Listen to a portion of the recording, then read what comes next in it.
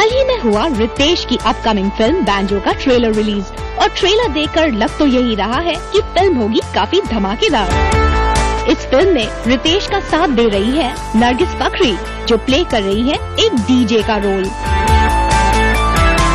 इस फ़िल्म से करने जा रहे हैं national award winning Marathi film maker Ravi Jadhav, उनका डेब्यू